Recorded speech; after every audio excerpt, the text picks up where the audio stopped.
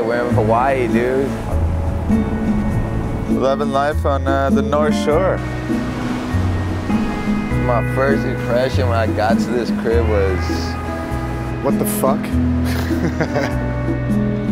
wow, look at her.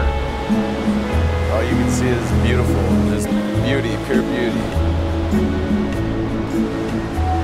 I've never been treated like this on a skate trip ever. This is nothing like a skate trip at all. The flower.